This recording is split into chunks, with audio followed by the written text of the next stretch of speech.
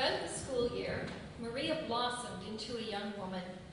After 16 years of very strict upbringing with her foster parents, she loved the freedom of being away at Teachers College, meeting new friends, exploring the city.